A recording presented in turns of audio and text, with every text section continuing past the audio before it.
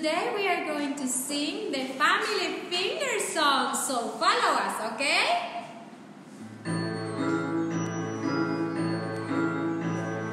Father finger, father.